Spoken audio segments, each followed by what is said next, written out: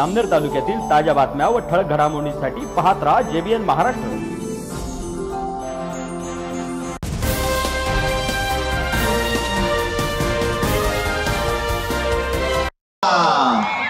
गिरीश भाऊ प्लीज मंचावरती या.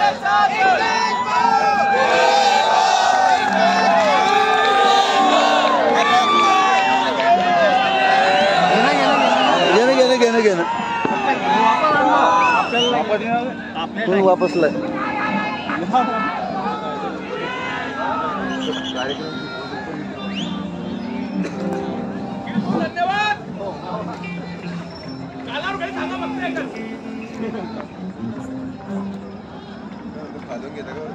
खाल वरती चालतो का? चाल चाल.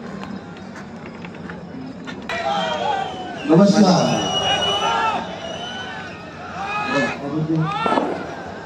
काय नाही मी खरं तर सांगू तर माझा एक कार्यक्रम होता. गुप्ते तिथे गुप्ते गुप्ते तिथे गुप्ते गुप्ते तिथे गुप्ते गुप्ते तिथे गुप्ते.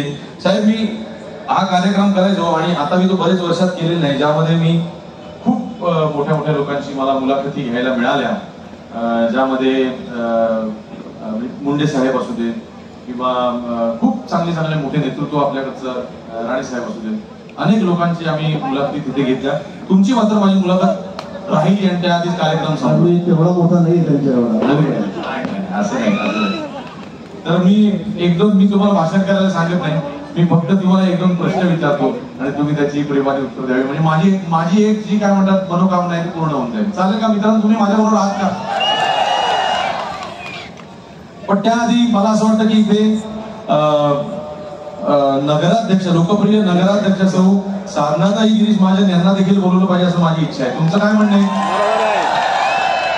साधनाताई तुम्ही येईपर्यंत मी पहिला प्रश्न घेतो. भाऊ आज आपण राज्यातील महत्त्वाचे नेते आहात पण या प्रवासाची सुरुवात कशी झाली? इकडे पाहून बोला. या प्रवासाची सुरुवात किती शालेय जीवनापासून झाली. मी राष्ट्रीय स्वयंसेवक संघाचा स्वयंसेवक म्हणून शाखेत जायला लागलो. शालेय जीवनात मी स्वयंसेवक महाविद्यालय जीवनामध्ये नंतर मी विद्यार्थी परिषद नंतर भारतीय जनता युवा मोर्चा नंतर भाजप आणि नंतर पंच्याण्णवपासून म्हणजे एक्क्याण्णव ब्याण्णवला मी त्या नामदेव शहराचा सरपंच झालो. तीन वर्ष कार्यकाळ झाला. पंच्याण्णवमध्ये मला प्रमोदजी महाजन स्वर्गीय यांनी मला तिकीट दिलं. तुला आमदारकीला उभं राहायचं आहे त्यावेळेला आमच्या गावचे जैन बाबूजी. आदरणीय बाबूजी त्यावेळेला ते ते माझे आमदार होते. आमच्याकडे ते राहिले आणि ते माझ्या विरोधामध्ये. मी प्रमोदजींना म्हटलं प्रमोदजी त्या हातीवरून साखर वाटताय. माझ्या खिशात पाच दहा हजार रुपये सुद्धा नाही. मी कसा काय लढणार? त्यांनी सांगितलं वर्गणी जमा कर. पैसे माग. आणि निवडणूक लढ आणि मी पहिल्यांदा निवडणूक लढलो पंच्याण्णव साली पहिल्यांदा निवडून आलो. दुसऱ्यांदा बाबूजी पुन्हा खूप केले होते आमचे. आणि खूप चांगले संबंध आहे त्यांचे. त्यांनी सांगितलं आता तू कसा निवडून मी बघतो. दुसऱ्यांदा पुन्हा निवडून आलो. उभा राहिलो निवडून आलो. दोन वेळा निवडल्यानंतर सांगितलं तू सडाचा माणूस आहे तू टपरीचा आहे. तू कुठेही बसतो कुठेही उठतो लोकांची कामं कुठे रस्त्यावर करतो कुठेही सह्या करतो. मला ते जमणार नाही. आणि म्हणून तू लोकप्रिय झाला. आणि खरं मी टपरीवर बसून पत्र लिहायचो आघाडीवर बनवून त्या बसून त्या ठिकाणी पत्र लिहित असायचो. रस्त्यातच लोकांना भेटत असायचो. पहिले पाच दहा वर्ष कार्यालयामध्ये जाऊन होतं. आणि मी एक लोकाभिमुख झालो. आणि त्यानंतर तिसऱ्यांदा पुन्हा मी निवडणूक लढलो त्यावेळेला बाबूजी माझ्यासमोर नव्हते. तिसऱ्यांदा चौथ्यांदा पाचव्यांदा सहाव्यांदा. आणि विशेष आहे मी पहिल्यांदा बारा हजार निवडून आलो नंतर सोळा हजारांनी आलो. तिसऱ्यांदा मी एकोणीस हजारांनी आलो. चौथ्यांदा मी तेवीस हजारांनी आलो. चौथ्यांदा मी पाचव्यांदा मी अठ्ठावीस हजारांनी आलो. आणि आता सहाव्यांदा मी चाळीस हजार मतांनी निवडून भरपूर प्रेम. मला माझ्या मित्रांनी विशेष करून माझे तरुण मित्र म्हणजे मी अजून तरुणच आहे. यांनी मला दिलं आमच्या मतदारांनी मला दिलं. सहा वेळा. सहा वेळा मला दिलं.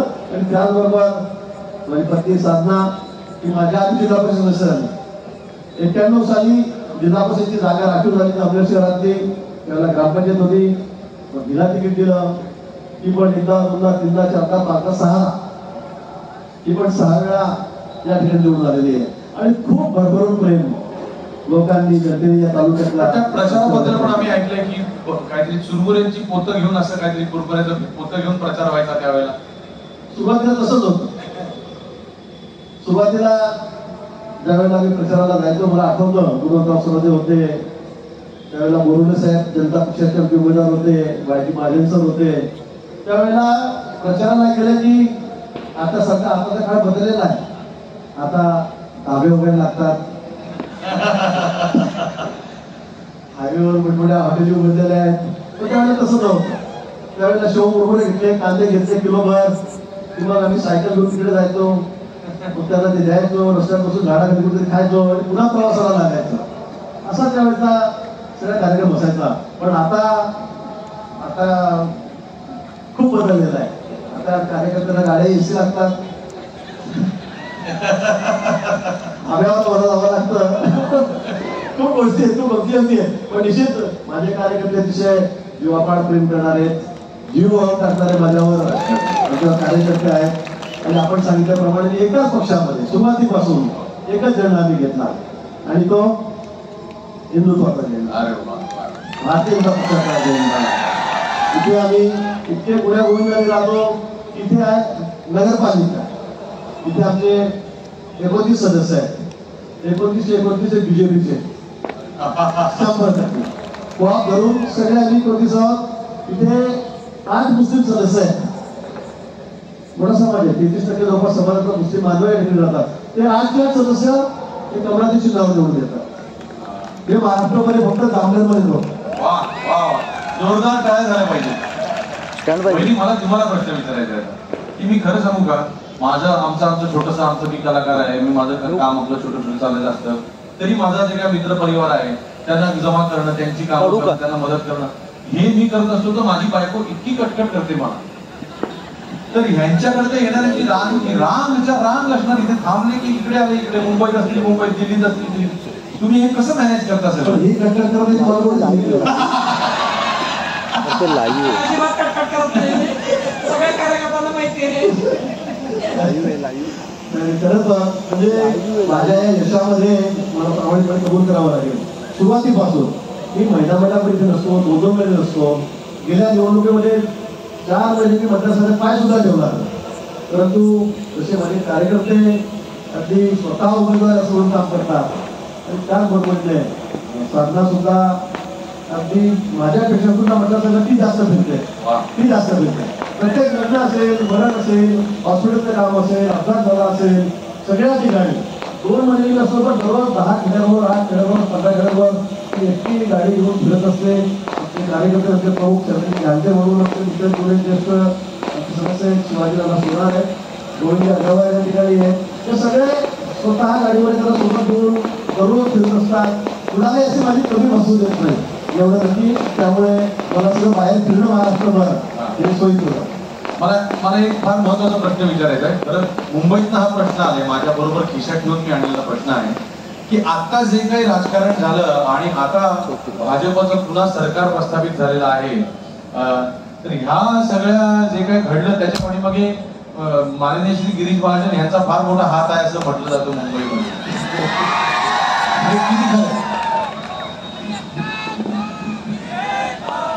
नाही असं माझा मोठा हात छोटा तसं मला भटायला नाही. पण मी थोडासा खालीचा वाटा मी नेहमी उचलत असतो. आपण सुरुवातीला सांगितलं काय काय साहित्य बाहेर?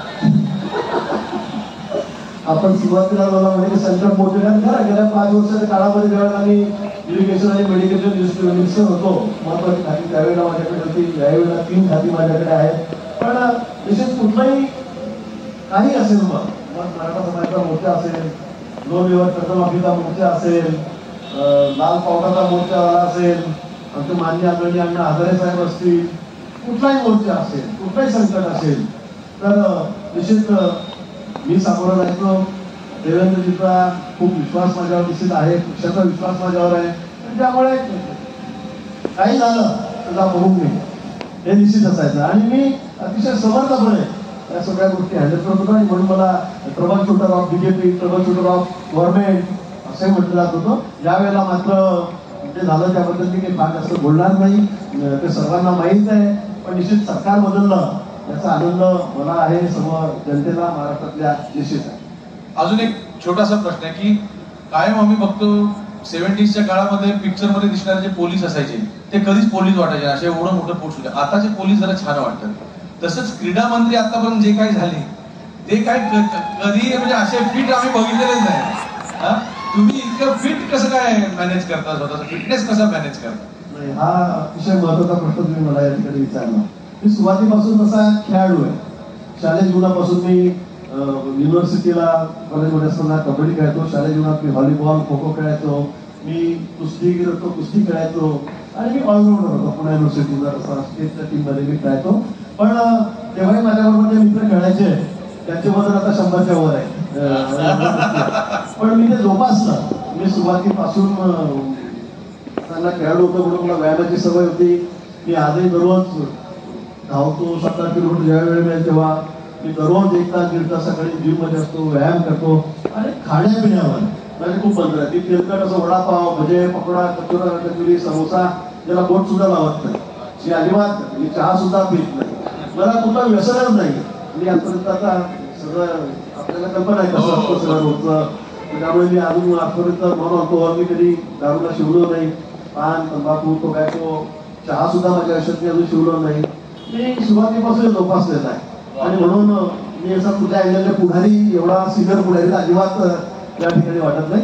पण या निमित्ताने मी माझ्या तरुण मित्रांनाही आवाहन करणार आहे. मी नेहमी करतो की तुम्ही व्यायामाची सवय जर तुम्हाला लागली तर तुम्ही व्यसनापासून लांब राहता.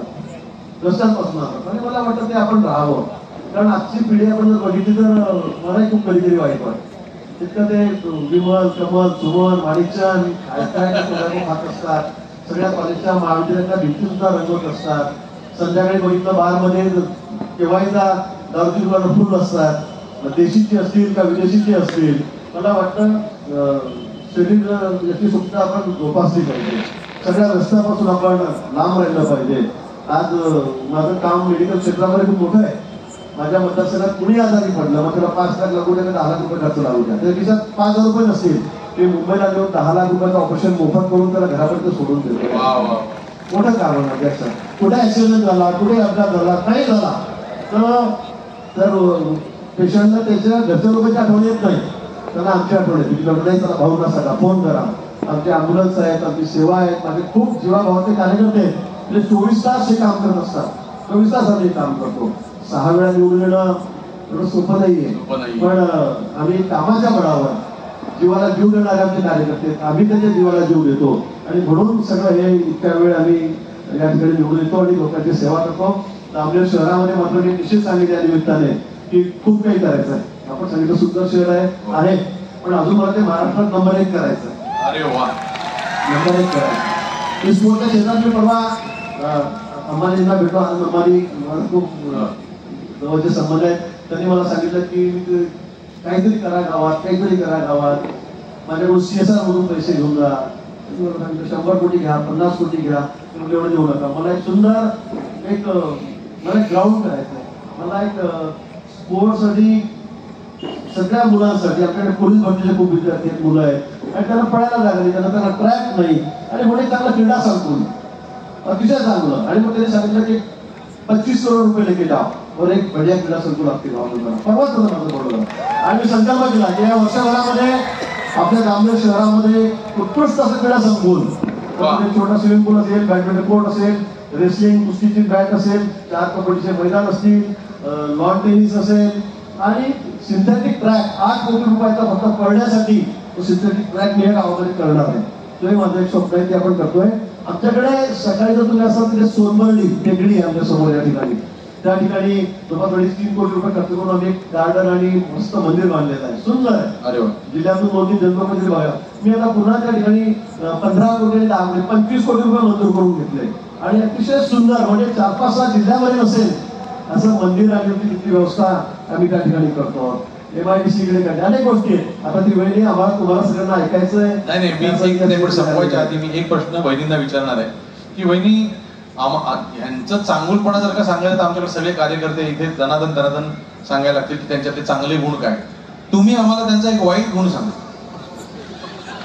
वाईट म्हणता नाही काय पण एवढ्या सगळ्या धकाधकीच्या आयुष्यामध्ये काही गोष्टी करून करायच्या राहून गेल्या असं वाटतं का? एवढ्या एवढ्या फास्ट मोठं एवढं करिअर एवढं बिझी आयुष्य.